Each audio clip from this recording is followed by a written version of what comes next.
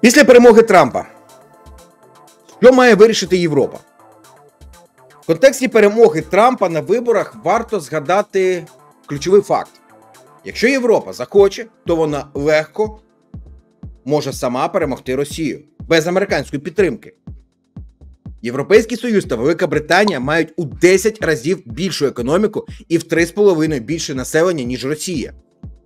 А ще два атомних арсенали, доступ до виробництва та покупки найсучаснішого озброєння і можливість задушити економіку Росії банальними економічними санкціями.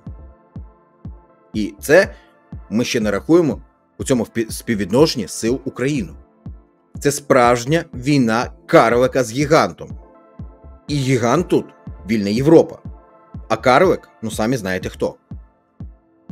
Чого Європі не вистачало навіть після початку повномасштабної війни, так це готовності реально інвестувати в свою оборону в розмірах, що відповідають масштабу загрози.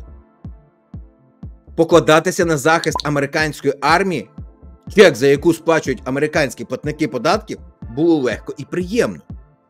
Але легкі та приємні часи завершилися.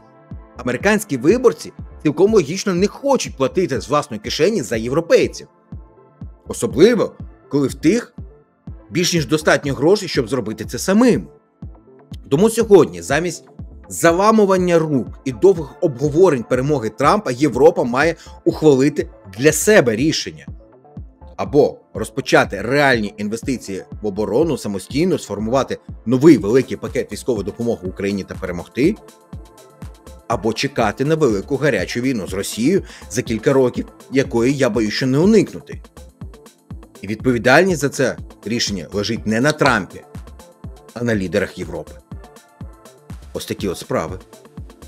Напишіть, до речі, в коментарях, що ви думаєте з цього приводу. І не забудьте поставити вподобайку цьому відео. Підпишіться на канал, якщо ще не підписані. Якщо, до речі, у вас є бажання і найголовніше можливість, ми будемо дуже вдячні за фінансову підтримку нашої роботи. Нас ніхто не спонсорує. Ми працюємо виключно завдяки вашій допомозі. Ми дуже вдячні тим людям, які це роблять постійно. Посилання на банку є в описі до цього відео, а також на ваших екранах ви зараз бачите номер картки банки. Поставили вподобайку. Підписались на канал. Дякую.